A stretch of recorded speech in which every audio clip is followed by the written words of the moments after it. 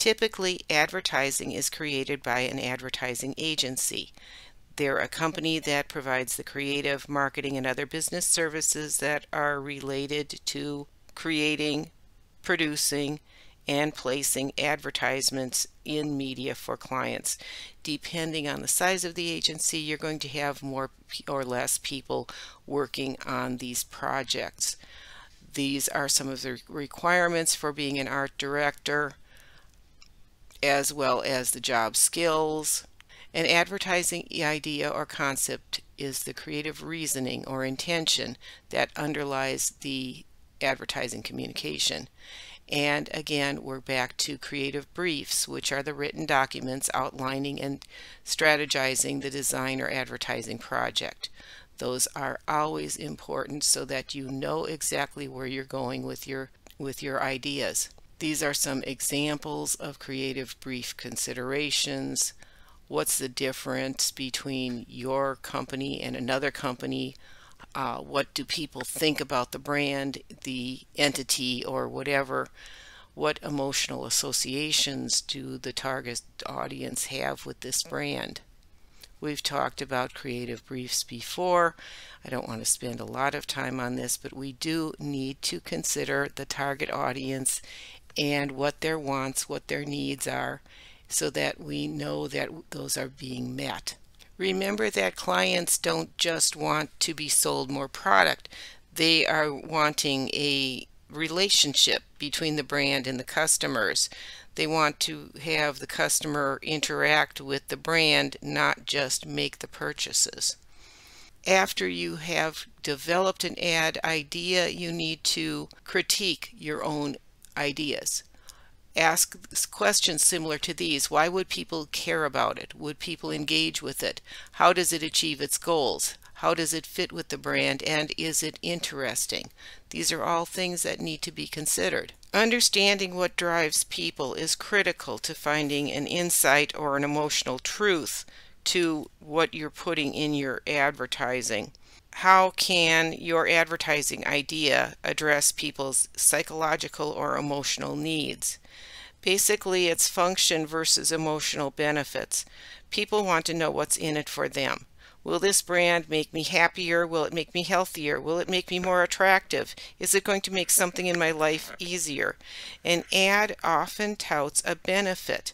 A functional benefit is that thing that's practical or useful. Like a bath soap may have the advantage of extra moisturizer or a credit card company that offers protection against identity theft.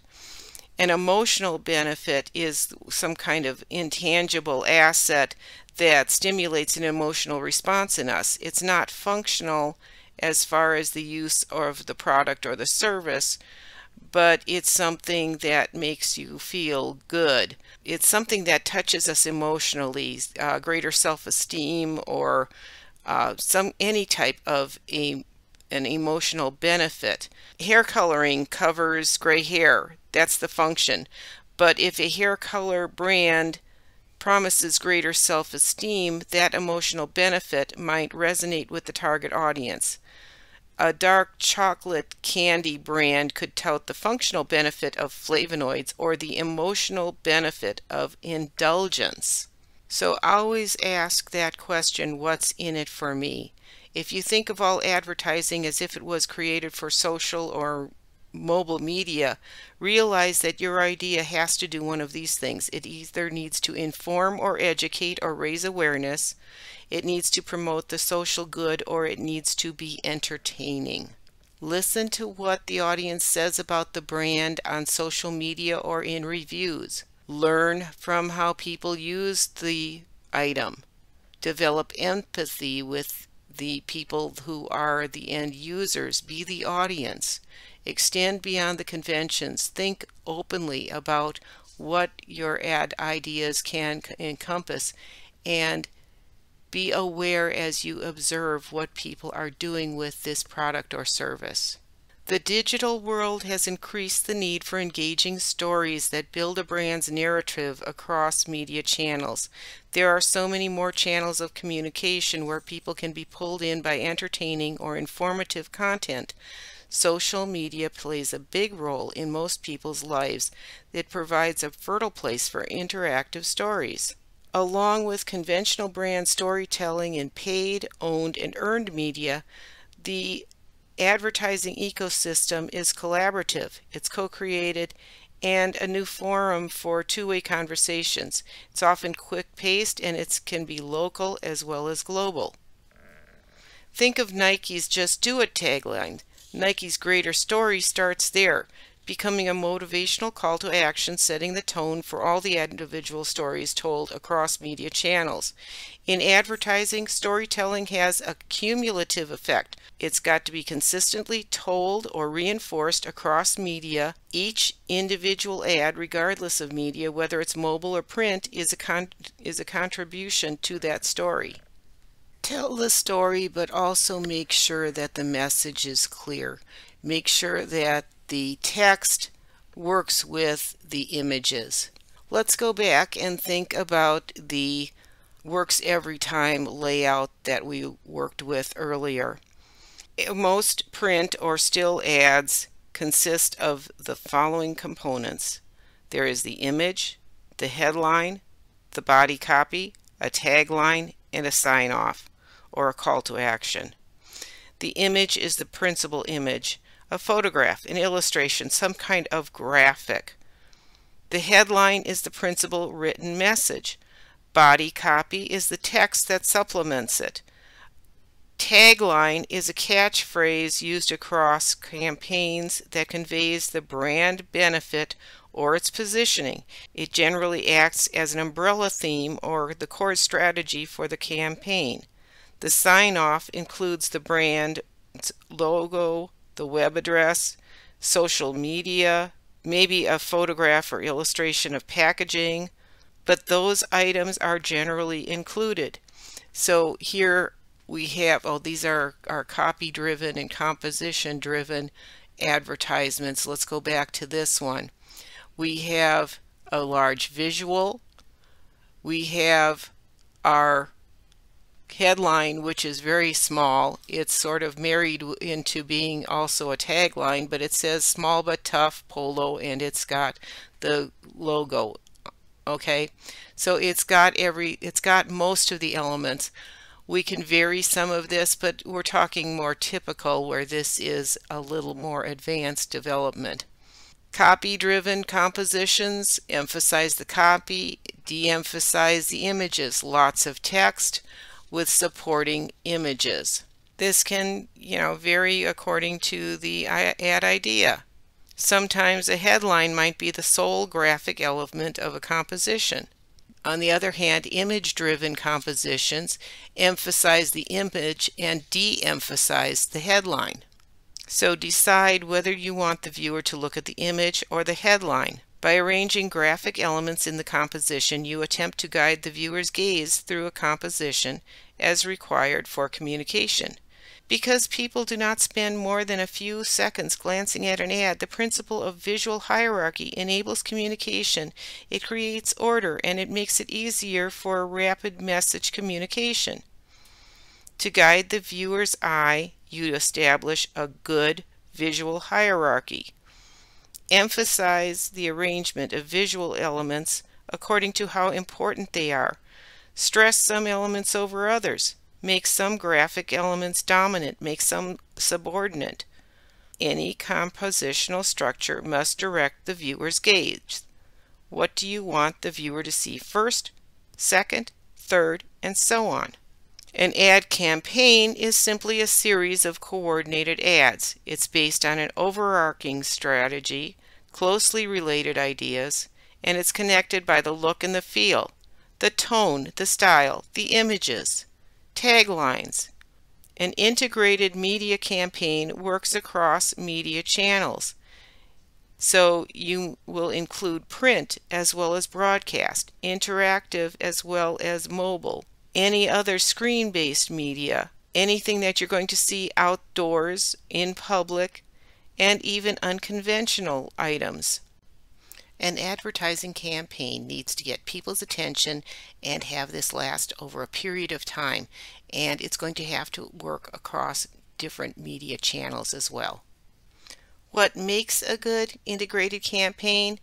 The core strategy needs to be elastic, it has to be overarching, and each ad idea has to come back to that original strategy. Each individual unit across media channels is going to grab somebody's attention and hold interest. Each media channel is used for how it can best connect with people and add something of special interest to the overall campaign. The visual communication ignites a dialogue between the brand and the consumer, and it needs to surprise and actively involve people. It needs to be something that people will talk about. If you study ad campaigns, you'll notice that art directors design an underlying compositional structure or a template for each individual ad unit in the campaign. It's a master layout that you put in where the graphic elements are going to always go. Uh, you pick out the typefaces, you pick out the color palette, you're going to have type alignment, focal points, and positioning of the elements in the composition all be the same. The images and some of the text are going to vary. This campaign structure can be referred to as triplets because each composition is identical or almost identical to the others. This is a way many campaigns are designed. For each unit in a triplet, the image can change, the headline can change, but the compositional structure stays exactly the same. Other elements maintained might include the visualization style, the overall style, the images from some photographer or from a particular illustrator. Some designers and art directors prefer to create cousins as opposed to triplets. It's a campaign where there's a familial uh, appearance that stays the same among the individual ads, but there's more variation in the composition, there's more variation in the color palette, there's more variation in the visualization, but the campaign will still hold together and maintain a look or feel. With cousins, unity with variety is the goal. So you're watching TV and you're watching something you've been waiting for and it's interrupted by commercials. People enjoy creative commercials, but commercials do interrupt programming, either broadcast, broadband, streaming. We end up with commercials. A commercial or a commercial spot is an advertisement with duration. It's usually 15, 30, or 60 seconds in length. It's time-based media. Television and web commercials or films have to do the following and do it all in just a few seconds. Remember, these can be as short as 10 or 15 seconds. Immediately grab the viewer's attention. Keep the viewer's attention for the entire length of time. Interest viewers with a captivating story, imagery, movement, music. It has to be something relevant. If it's animation, commercials, or film, you have a chance to recapture the viewer's attention if they're still in front of the screen. It needs to call people to action, create awareness, or drive people to a website. It needs to look and sound fresh and not look like something that everybody's seen over and over again. It needs to entertain, it needs to inform, it should be interesting enough to be viewed over again or to have somebody share it. In print, you have about two or three seconds to capture somebody's attention. With time-based storytelling, which is TV commercials or some kind of other web film, you will lose people's attention in the first two or three seconds. And you have to be able to recapture their attention in the next five. People drift in and out when they're watching. If there's a commercial that's engaging, its person is going to watch it. If it's boring, people will not pay attention.